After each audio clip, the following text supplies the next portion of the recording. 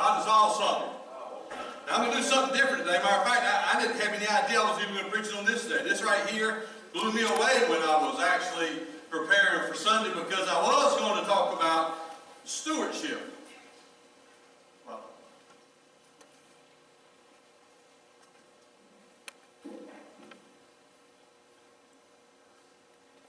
Okay? Oh, how much?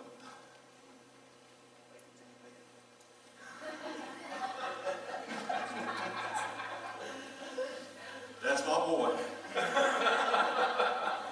I would have never heard that before.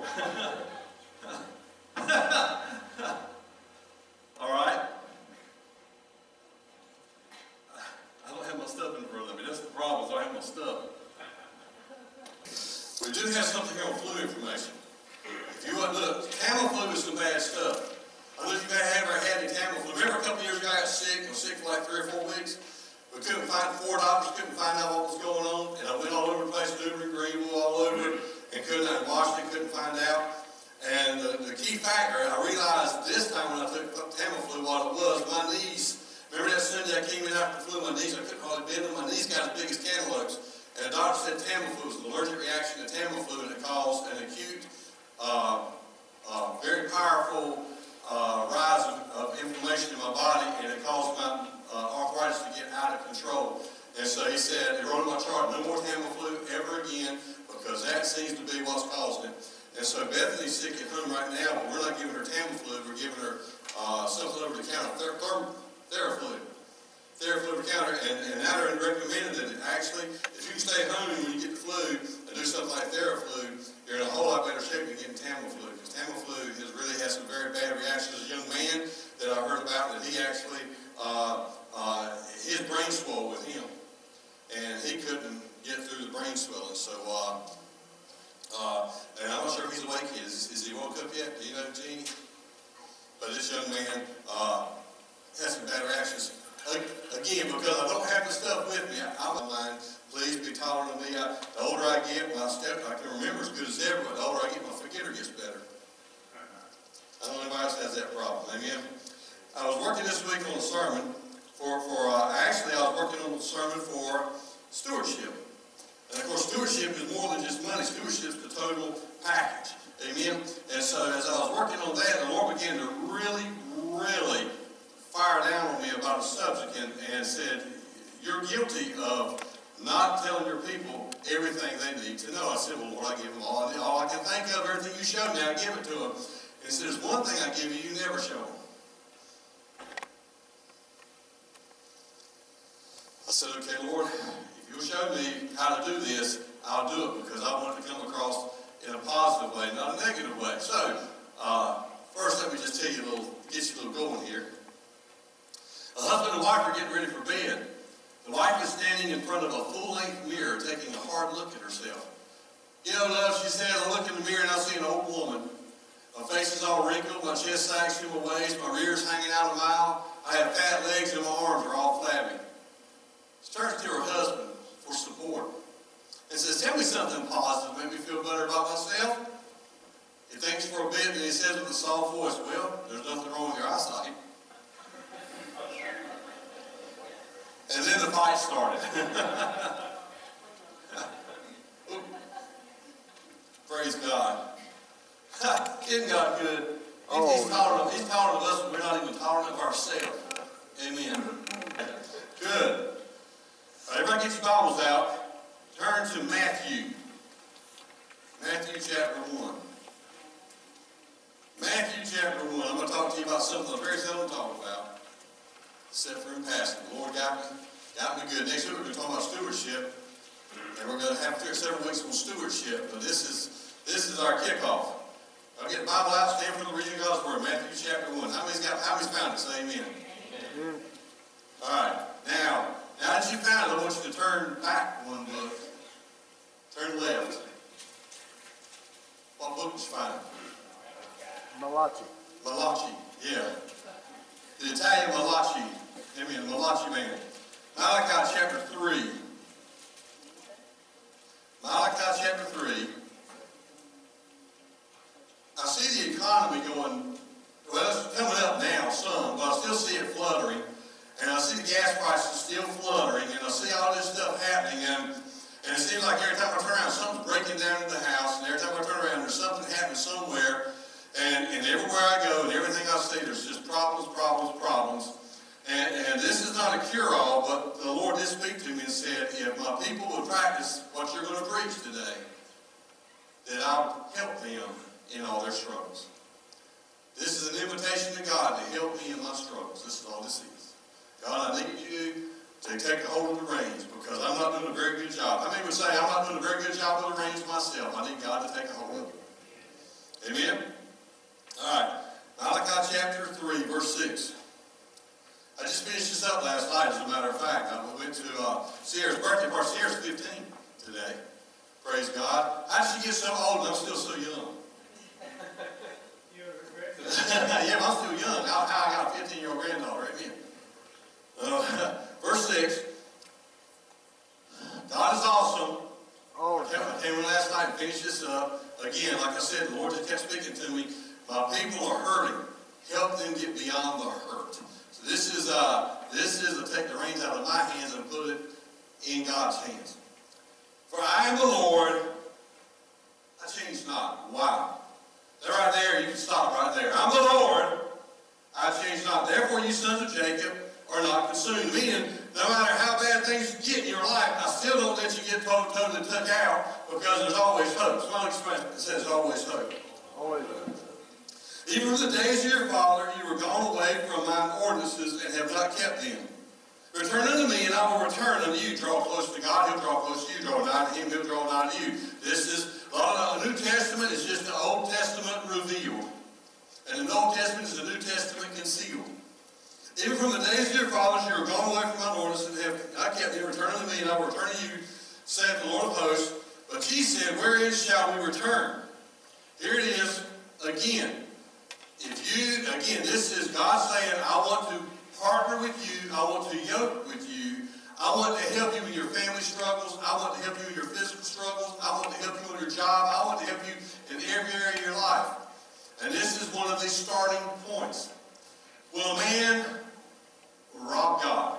How can we rob somebody that has everything? How can we rob somebody that doesn't need? How can we rob somebody that you actually can't see what he has? Here it is.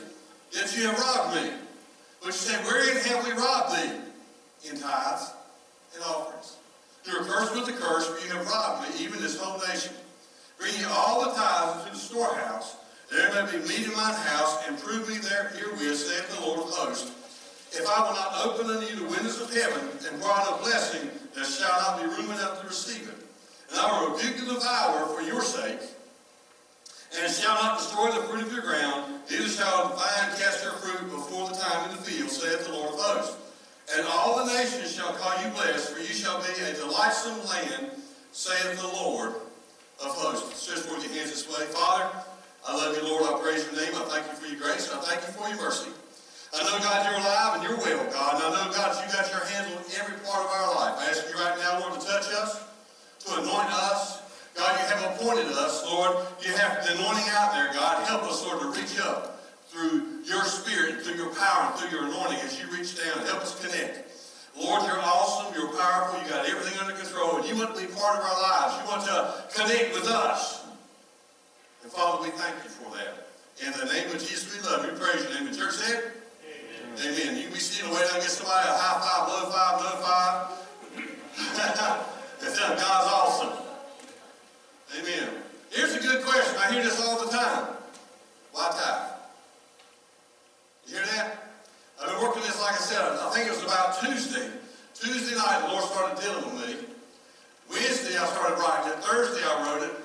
Friday, I had it pretty well sewed up. Saturday morning, I worked on it all day. And then last night, I just had to throw some things together. But the Lord kept dealing with me. I said, Lord, this is, this is not what it's not what you want, it's what I want. Just like they was tickling me, telling Sierra, "Hey, hey, don't do it your way, do it my way. Singing a song. And then when she did it her way, his way, it was her way. And so we a little laugh. My dad used to tell me, son, I want your opinion, I'll give it to you. Amen? Yeah. Okay, so here we go.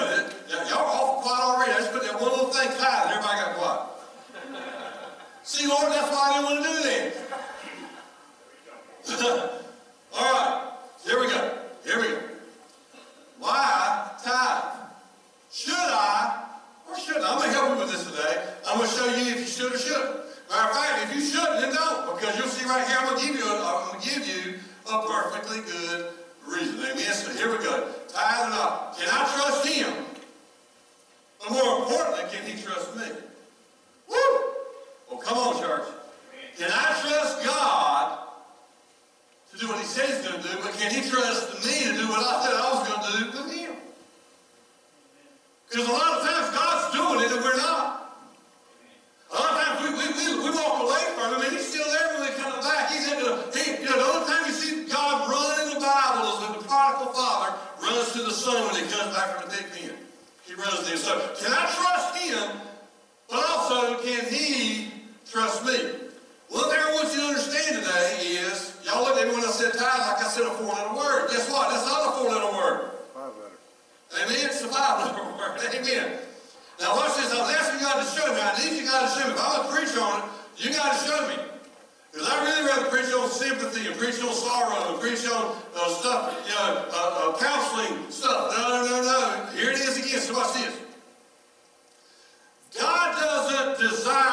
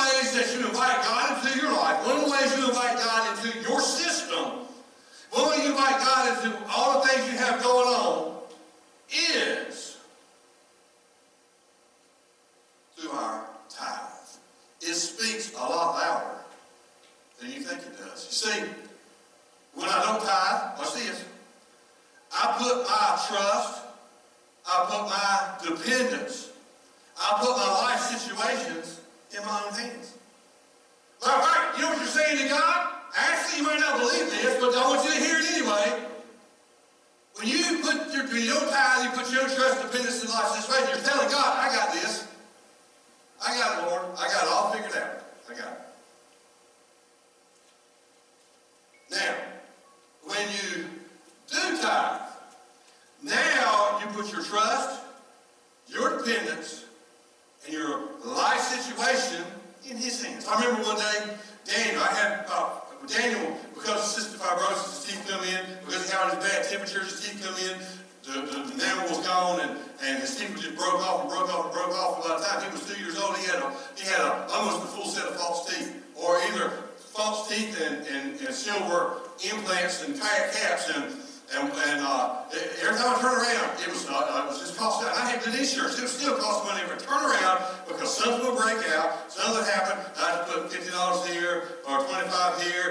as my because he's always knocking one of those things out. Him and DC would fight, and there goes another tooth.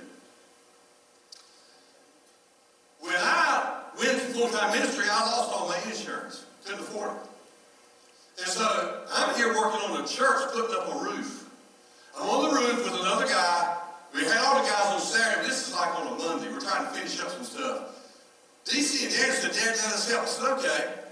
So DC and Daniel are helping, and I'm up on the roof, and how exactly, DC never really told me, and Daniel never told me, they kind of gave me a story, and I'm not sure if it was a good one or a bad one, but in my mind, I think DC hit Daniel in the mouth with a shovel. Not on purpose. Maybe. He's smiling. It was on purpose. Finally, you tell me. Okay. And knocks out one of the major teeth that he can't lose because everything's hooked to. So he knocks out the tooth, and I said, Oh, God, now I don't have any insurance. And I I'm on the roof now, and I looked up to God, and I said, God, this don't make sense.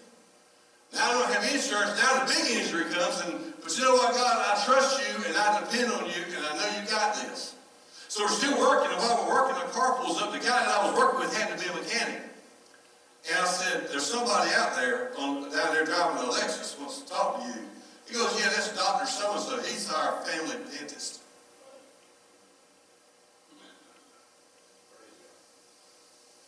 And so I said, hey, Dennis, can I talk to you for a minute? He said, sure. And I run down and give him, brought Daniel to him. I showed him that tooth.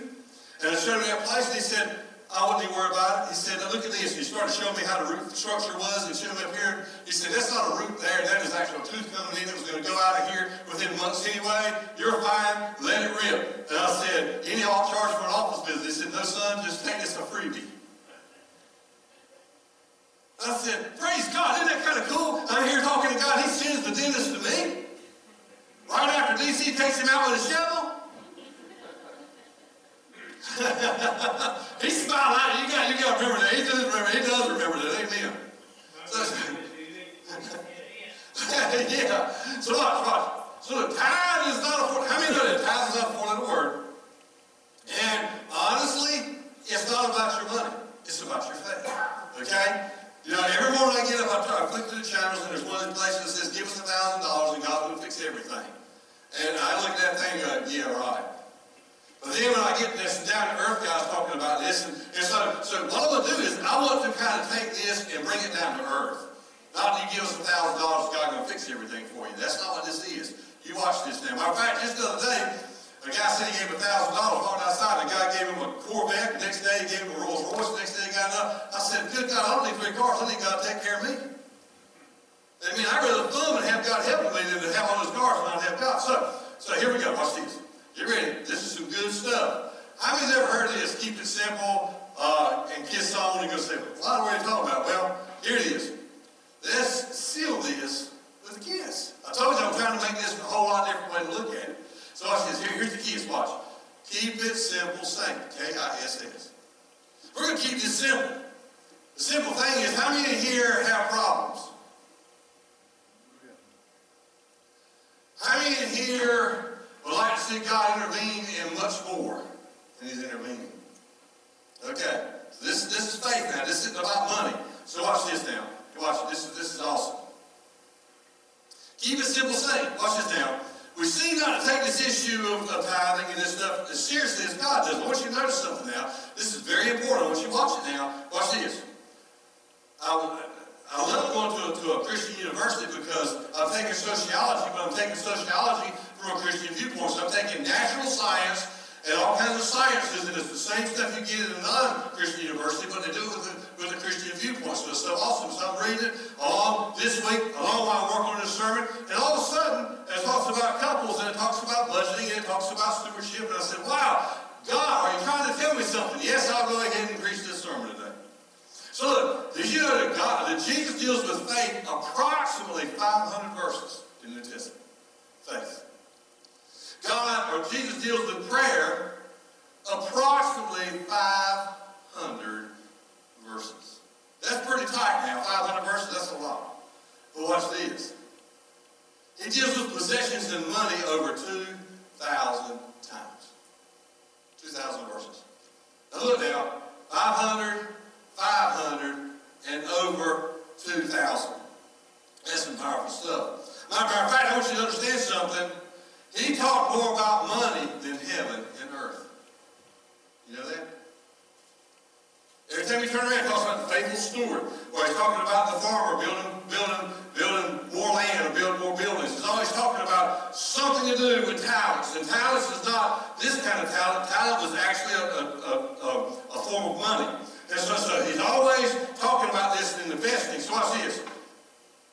You need money to effectively live on the earth. How many know that?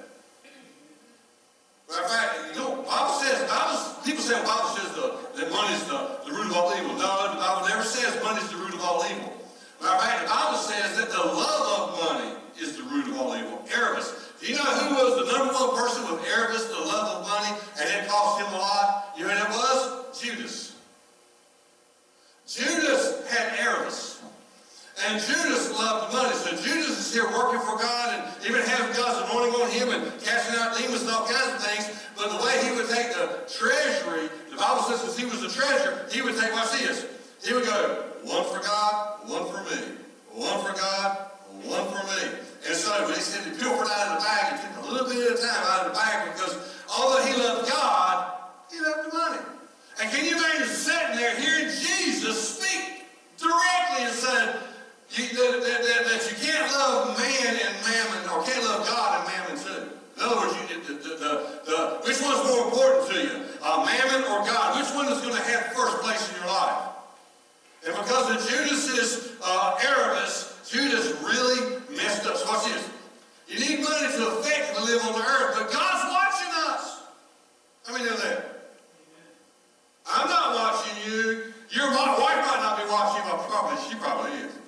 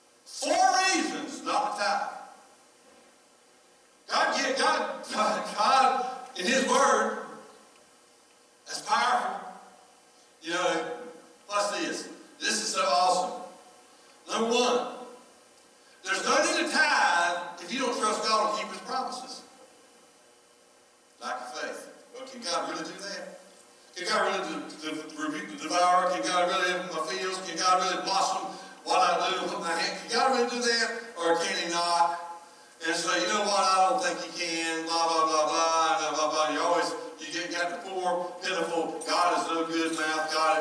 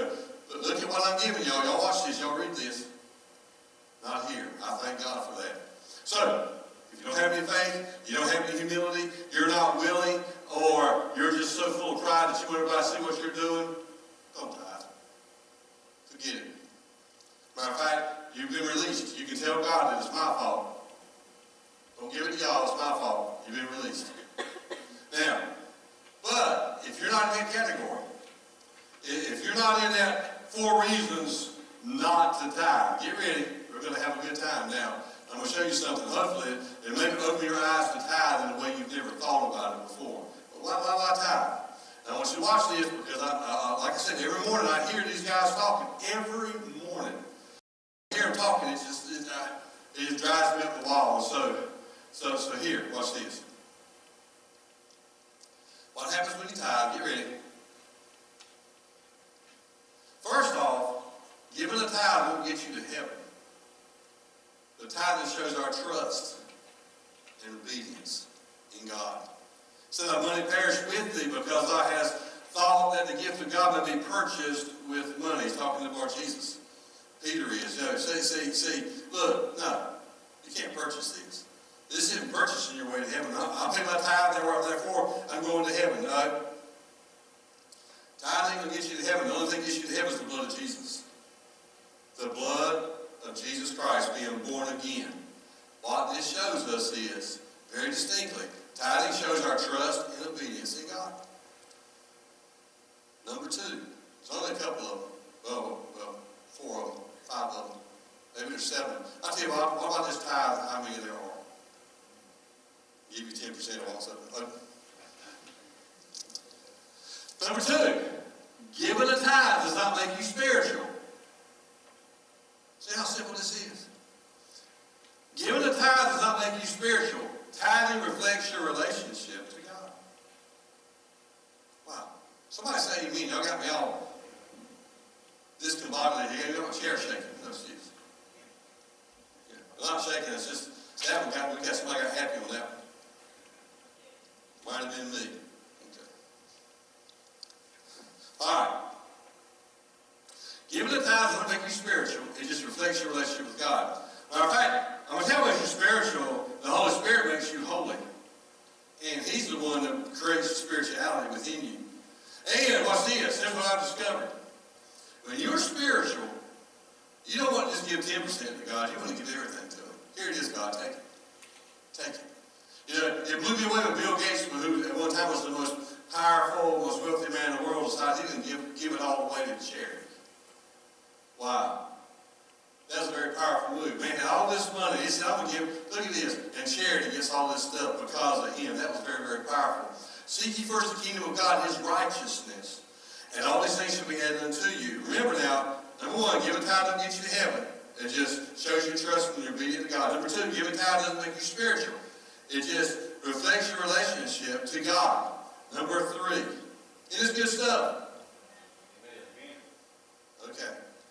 Again, I'm sitting here, but are, you sure? All right, ready? Let's see this. Giving a tithe doesn't guarantee a financial return. Tithing reflects your priorities in life. And when your priorities are correct, it puts you in a place to, in a place to prosper in all areas of your life. Once your priorities are correct in life, it puts you in a place to prosper in all areas. Wow. Bible says in, in, in, in, Psalm chapter 1, uh, chapter 1 talks about when everything puts its hand to is going to prosper. It's going to tree uh, rising up like uh, the rivers of water. It's just some very powerful, powerful, powerful stuff. So now, now watch this now. The Bible says he dig deep in the earth and he hid the Lord's money. Say again, he, he, he was he, had the wrong attitude. Then again it says, uh, uh, thou wicked lazy servant, you not require return, and what I give you to manage for me, you should have better managed my money for me. Take his money from him. All who manage will, well will have more, and all who squander my money will have it taken from him. The Bible tells us when they were building the temple. Haggai says, why in the world are you putting your money in, you're putting your money in your pockets with holes in them, bags with holes in them. You, you, you, you're making the money when it goes away as soon as you get it. Why? Because you put my house second, third, and fourth. My house should come first. You're here to rebuild the house of the Lord, but you decide you're going to build your own house before you build mine. And because of that, you, you curse your own self. So, so again, this is, I'm asking God to come into my life, and I'm giving him the reins. I'm giving it to God and letting him take care of it. So, so, so giving time doesn't guarantee financial return. It just reflects our priorities. And once your priorities are straight, you're in a position to receive from God in every area of God. And it's good stuff. Is it different? You know, I hope this is different. I hope it's like, like, like a, a Dave Ramsey course. You know what I'm saying? This is the spiritual Dave Ramsey course. This is something entirely different. This is not the standard, give it or go to hell. This is, look at what's happening. This is what's happening here. This ain't give God a thousand dollars and all of a sudden he's gonna pay your house off and buy a boat car. No! This is again, I'm handing the reins to God. So, so here we go. I got a few questions I like to ask. You don't have to answer them because I already got the answers down here. But you can think them in your head. Don't, don't answer them out loud. Get ready. Here it goes. Here's my questions. Ready? Yeah. All right. Whose money is it anyway?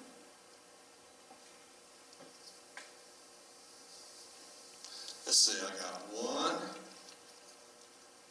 I didn't plan it this way. I got one, two, three dollars in my pocket. Watch this.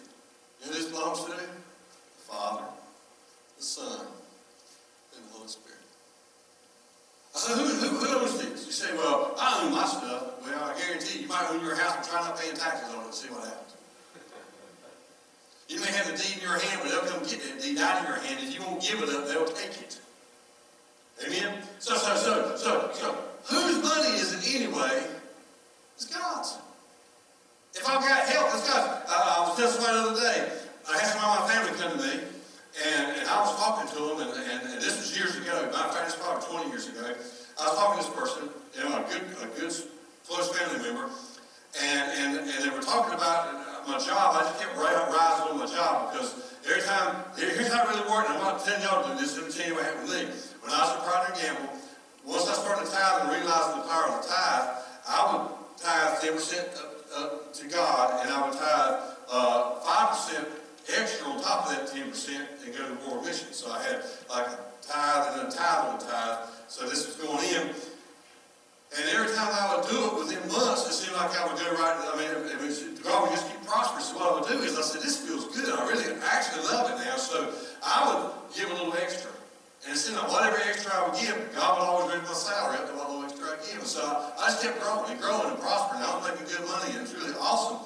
And I was giving it to God. What, I, what belonged to God, I gave him generously to God because it felt good. And this person came to me and said, why are you doing all that? And I said, well, because God is the one that gives me strength. He says, you're the one that's working those hours. You're the one that's training. You're the one that's going to school. You're the one that's doing all this stuff. Why are you giving it to God? I said, because it's God that gives me power to do this. It's God that gives me strength. It's God that takes care of me. And that person looked at me and said, God's got nothing to do with it. He said, I get up every morning, I hit the, I hit the road, I go on the road, I come back home at night, I take care of my family, I take care of business. God's got nothing to do with it. And when he said that, I kind of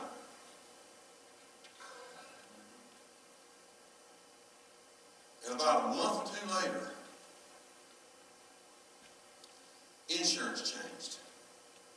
And it went from the spouse was free to now you pay for the spouse. And let's just say, for instance, if your insurance was $20 a month, now they had the spouse, it was $50 extra a month. So it went from $20 to $70 just like that. And all of a sudden, I kept hearing this guy going, ouch. Ouch. And then the taxes changed. And then he got another whammy. So they started, so instead of taking out twenty dollars a week out of check, he started taking out like hundred dollars a week out of his check. He got behind his bills and he came up to me and he said, he said, look, I'm getting ready to lose this. Can you help me? I said, sure, what's going on? He started telling me what's going on. I didn't say a word. I said, God's got this, I'll leave it alone. So I gave him the money for that. I finally went paid it for him. And I come back, and about a month later, he came to me and he said, I need to talk to you. I said, what about? He said, I was wrong. I said, about what? He said, God does give me strength. And it is God's. And God's helped me. I'm a steward of what God has. And this is me. This is God. And the minute I thought I had it under control, God showed me just how fast it could all be taken away. Everything changed. All the money changed. He said, but now I want you to know, I apologize to you for telling you, and I apologize to God for telling him that I was the one that did this. It's God and all God alone. About two weeks later, he got a job offer making twice as much money as what he had made before, and took it.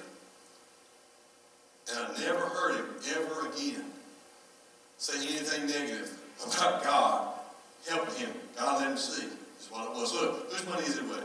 It's God's. Number two, what is our task in all this? Ready? What's our task? God give you money. Well, well I make five dollars my brother makes ten dollars an hour, my other brother makes, you know, not literally, I'm just saying, you know, I'm making five, he's making ten, and the other's making twelve. Well, the one making twelve obviously is better than the rest of us, so he must be doing really, really good. But you understand, to whom much is given, much is expected. The Bible says that. He says when I gave one one talent, one, one two talents, and one five talents. And, and when he comes back, he goes and sees what the guy going on. The guy with one talent buries it in the ground, scared to death, and he's going to lose it. A guy right now, good Lord, when he dies, I'm going to get a crane out there and dig a hole and put his house in it. And his car, and everything he owns in that hole when they bury him, want to bury in the living room, sitting in a recliner chair with a glass of tea in his hand and a remote control. Because he's scared to death he's going to lose something. And I told him, I said, you need to back off. God's got this. So what's our job? To manage what God has given us because it's not ours, it's God's. Even my children are not my children. They're, they're my blood, but you know what? They did not come from me, they came through me. And because they came through me, I was the vehicle God used to get them on this earth, but they're still God's. Everything I've got belongs to God. So now, number three. What happens when our time's up on earth? Anybody got any guesses? Besides you stop breathing. yeah, that's right. You have to report to God. When you when you die, here's what happens. When you die, if you're not saved or when you are saved, either way, when you die, you immediately report to God. Immediately. Immediately. And he'll tell you if you're going to heaven or hell, because if you're going to heaven, you're going to go spend your place in heaven. Well, uh, I, I thought hell coming in. Hell comes first. Hell is the abode of the dead. It's the waiting place. That's what Lazarus and the rich man was. Hell's the waiting place. So if you're not born again, then when you die, you go to hell, and in hell you wait until the judgment, when your body's resurrected, you're judged before God, then you're put into the lake of fire. But at the same time, if you're a Christian, when you die, you get in God's presence, you still get the fullness of what's going on yet. But the records are clear. And the reason you don't get it immediately is because whatever you've done on earth, even though you die, your influence lives on. And if you had a positive influence, it keeps on going. And the meter keeps clicking.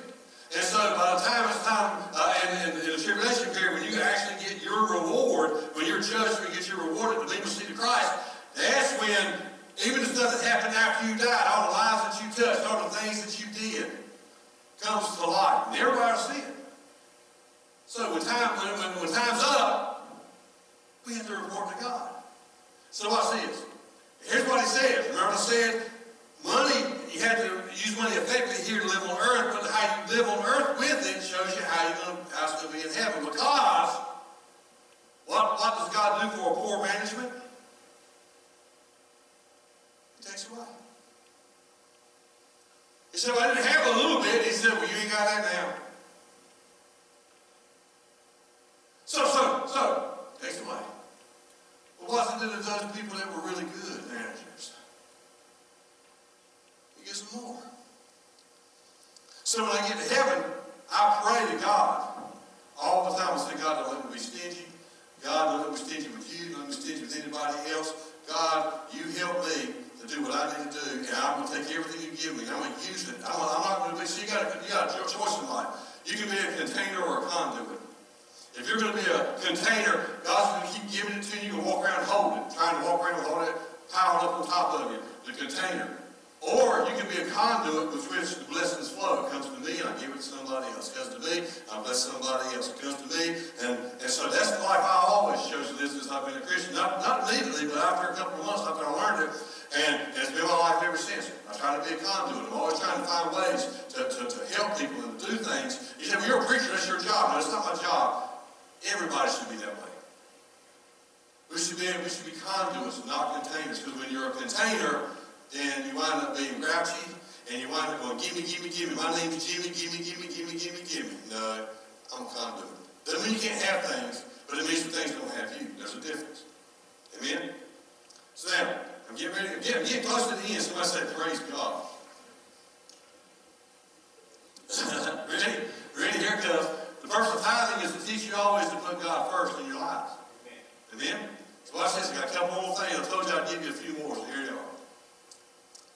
Giving the tithe is not paying dues to the church. I've heard that before. Even had an accountant tell me that. Well, you put us down for dues? I said, why? They're not dues. I said, I'm, I'm, I'm, I'm furthering God's ministry. This is not dues. This is a love gift to God. This is tithing unto Him. Tithing is a faith gift to God. My friend the says all the time. It is the Lord's. And it's holy to the Lord, Leviticus 27 and 30. And then we just read, well, a man robbed God. Yeah, you robbed me because you've not given tithes and offerings. Tithe is a percentage, offering is free will. So don't just stop at 10%, you give what you want to give. Praise God. And, and, and watch how God will bless you. You can't outgive God. The cool thing about giving, no matter what size shovel you use, God gives back with a bigger shovel. It's awesome. We're going to talk about that in the weeks to come, but it's going to be not probably as much on tithe as it is in stewardship total. So, so here we go. So I already told you now, so y'all don't come back next week, I know. I'm just letting the cat out of the bag. All right? Except for Doug, he won't be here next week. He's going to go off. That's right. We're going. When we come back, we're to have a big, a big wig, big rig. Yeah, okay. Because I'll be ready this time. Watch this. This is so awesome. Disobedience. To give the wrong amount with the wrong attitude. You're just disobedient. I love this. Sometimes we give the right amount with the wrong attitude. That's just not right. Or we give the wrong amount with the right attitude. That's not enough. I love it.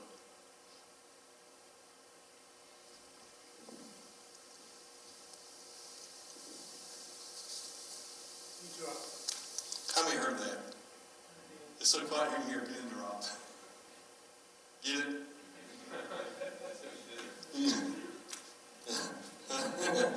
okay, get ready. Get ready. Watch this. Watch this now. Look, but you give the right amount with the right attitude, it's a faith gift. I remember the first time Beverly told me, she said, well, we're going to tithe. I would argue with her. She said, we're going to tithe. And I said, we're not going to tithe. I make too much money to give the church that much money. No. She said, well, honey, we got to. I said, no, we don't have to. She said, yes, we do. God expects it. I said, well, I don't. I work hard for my money. I'm not giving it to the church.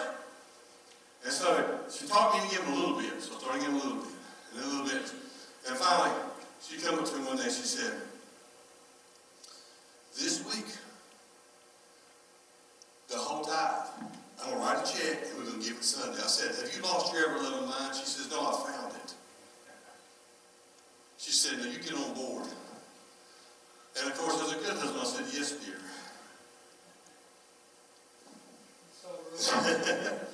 and so as I put that check, matter of fact, the usher had to kind of prime my fingers, but still, as I put that check in, I looked over at Beverly and I said, Beverly, you know DC has to have a special kind of formula, and we don't have any money to buy it. He's like a horse.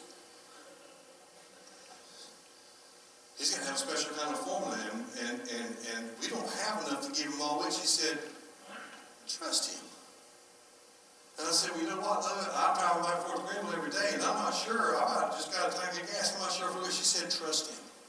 And I said, but you know, our groceries were kind of kind of slim. She said, are you going to trust him or are going to argue?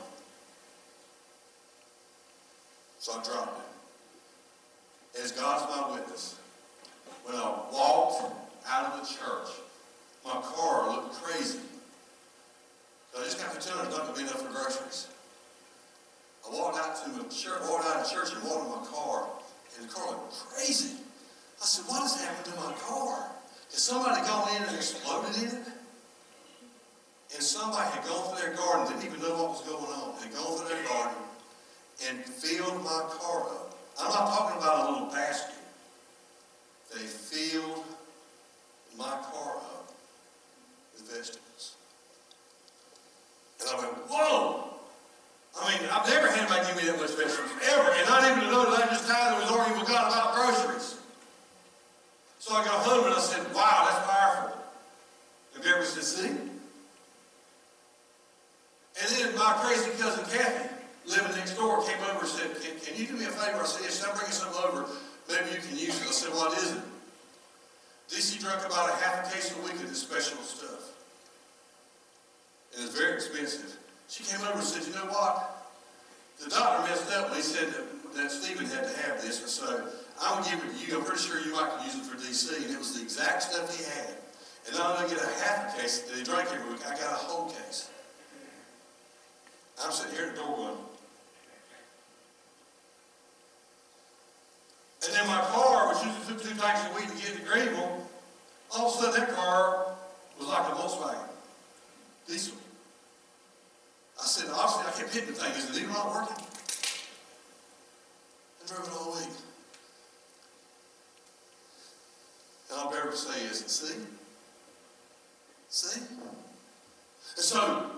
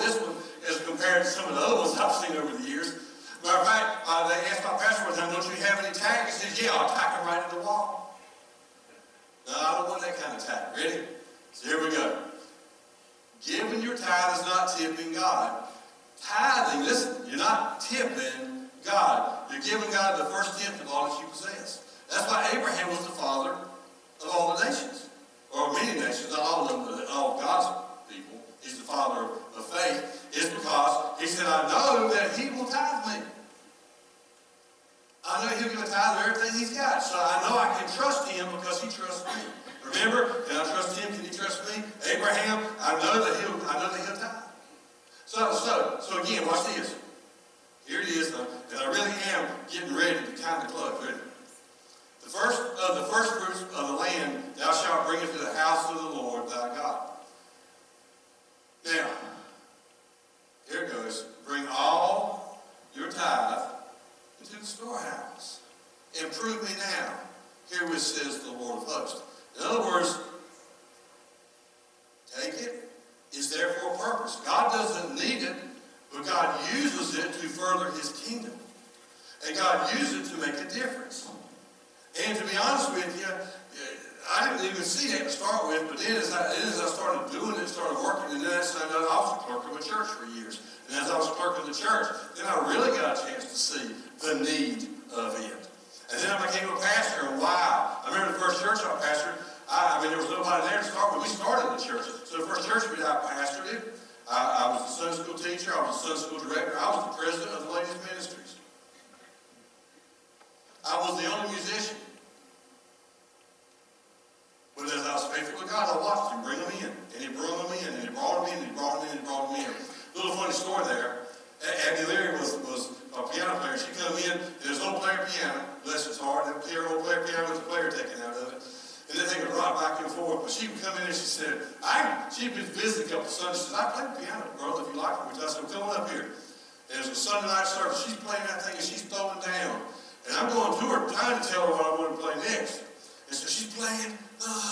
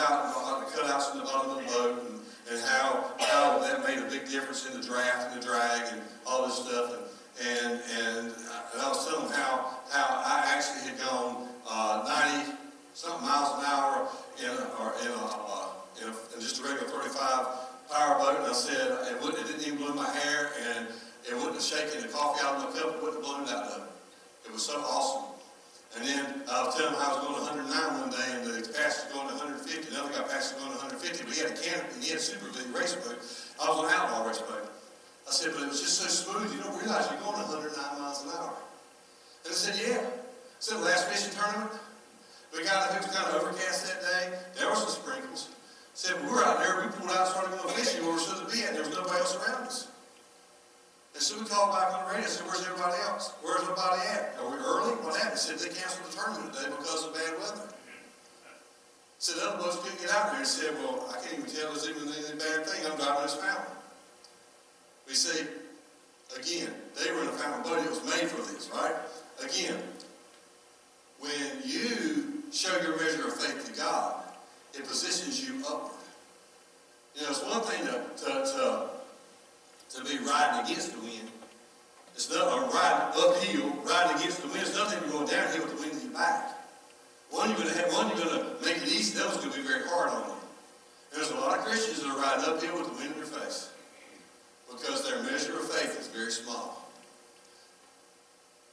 God says, I want to bless you. I want to put the wind in your back and have you going downhill, not uphill. And so, so, so tithing is actually a measure of faith, and it'll take you from going uphill with the wind against your face to some help. Doesn't take everything away, but it takes you to fact, it's a mark of maturity, because there's provocation in two ways. One, God is testing you. Can I trust him? And number two, you're testing God. Can I trust him? Both ways. He says, prove me, I'll show you. Give me a test. Let's try it. It's okay, that's cool. And that's what I did that time. That time me and God had a standoff. There's one thing I left out. That Tuesday night before before I put the tithe in the plate, that Wednesday night, excuse me, Wednesday the pastor wasn't there, his brother-in-law came, Richard Williford came. And he pulled out his Bible. He was an evangelist then, now he's a, some kind of overseer, I think, but he said, I was gonna, I have a whole message I was gonna preach on something else, I said, but tonight, as I stood up in the pulpit, as I was sitting down, he says, I pulled up in the pulpit, got up in the pulpit, the Lord changed my mind. Just like that. And so he got my attention. And he started talking about the just shall live by faith. Wow. Again, another little provocation of the Lord. He tested us, we're testing him. It's a double test. But until you get mature about it, it's kind of hard to do it. It's kind of hard to do some of this stuff without being mature about it. You can't have a have a, a, a, a little little like a pity parties. You can't have a pity party about this. Look, look, you know the bad thing about pity parties? Is very few people accept the invitations to them. And number two, very few people bring gifts. I like what, I heard this week. Anytime you have, don't tell, don't call it a pity party, call it a pity potty. and go ahead and have your pity potty, your pity party on your pity potty. When you get to the pity potty, flush your behind you, keep on going. Just move on. I know. Hear it the first time. Well, y'all did hear it the first time. I'm striking it hard. It's also a matter of life. You see, God takes it very seriously. You know, it's one thing, and it makes me mad to see somebody's dog, but we're going to fight to keep my dog. It makes me angry when I see how some people do their children. Even say things to them at times at the right time. But buddy, you take you do that to my child, we're going to do it.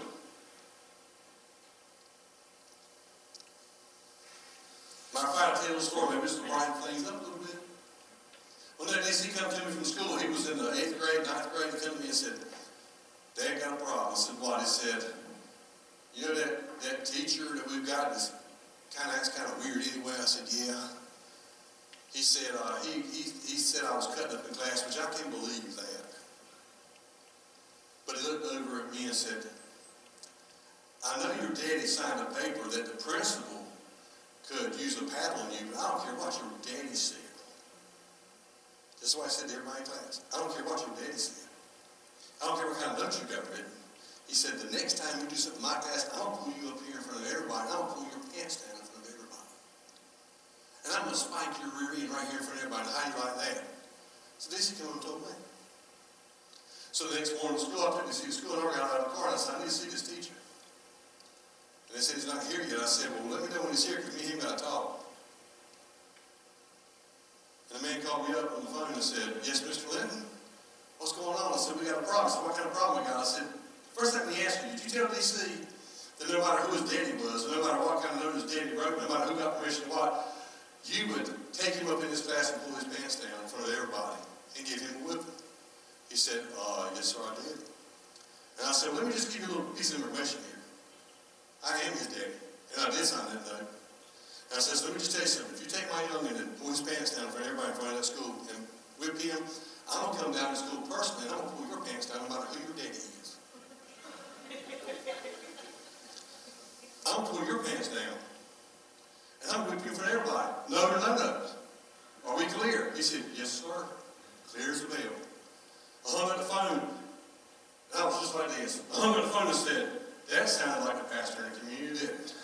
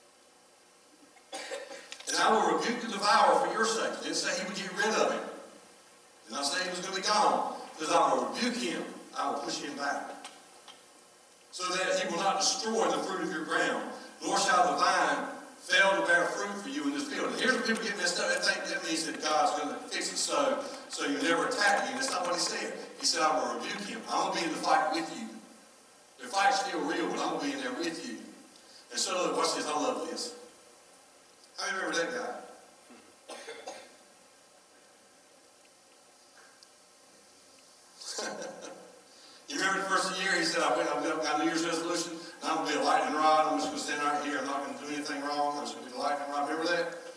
And I told, I told my wife, I said, something, they're up to something. Something will happen. But about two weeks later, he said, so he was being a flare on the, on the ground. He said, said, you're going to be mad? I'll be good. I'm a flare. He turned and looked and said, have y'all kept y'all's New Year's resolutions? No, he said, well, neither are I then, so now he's going back to Lincoln. Look at this. God promises to put the brakes on me, sign, Mayhem. When I tithe, you know we're to see, when I tithe, God puts the brakes on Mayhem, doesn't stop him, he's still there. You see, if God stopped him, then that would make us very irresponsible in the end. We would say, we ain't worried about it, we're covered, we're covered, we got nothing to happen to us. No, people still get sick, people still have problems. Bethany right now is home in bed with the flu or flu-like symptoms. Um, uh, hey, just because I'm Christian, because I tithe, and because I trust God, doesn't mean we don't get sick. Doesn't mean we don't have problems. Don't mean things don't tear up. What it means is, can you imagine? I remember DC and Daniel when they were little. And they would, I would try not to spite them if I didn't have to. I tried to do other things. Sometimes, sometimes, they would just get pure hard-headed. And one of them was hard-headed than the other one. I'm not going to mention any names.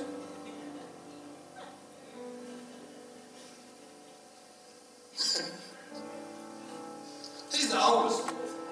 They took after his dad. He's supposed to be the did.